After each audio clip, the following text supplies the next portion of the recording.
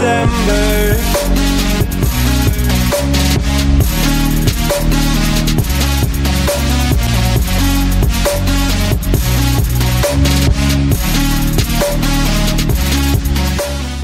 In this week's episode of Fun Fact Friday, DME will walk some through on the colours of our bus livery. Every design has a meaning to it, and it also represents the company after its iconic history in the Singapore public bus industry. So let us begin this episode, and how about clicking the like button and subscribing to us? So, let's start with SMRT buses first. We all know that it started from Trans Island Bus Services in 2004 after merging with MRT Corporation and became SMRT. It was the first generation logo of black and red with the tagline Moving People Enhancing Lives.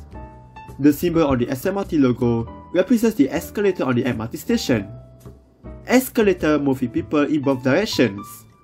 The model is to bring everyone from one place to another. Then, the pistol livery with a full red logo, known as the New Beginning when new bus fleets like the MAN buses and Enviro 500 began to dominate the SMRT buses fleet. The red and black represents the livery of our trains, while yellow shows Circle Line and silver for the new era.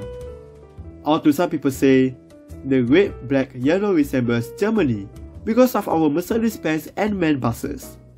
Sure, you can say that as well. While the majority in the Singapore public bus industry SBS Transit gave the history of revolution about their bus company. It all started with only two colors, the red and white livery.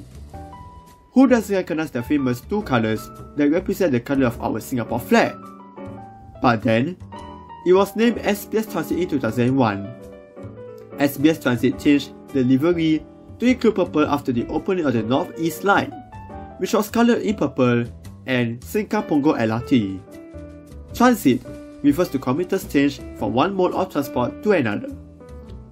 By now, we already know how lush green exists. For those who didn't know, let me make it into a short and sweet explanation. The lush green was part of the new livery under the bus contracting model scheme in 2016. The problem was then voted as the next future generation of public bus livery alongside Bright Red. However, if you want to know more about the reason behind lush green livery, check it out on one of our episodes on Fun Fact Friday. The link in the description down below.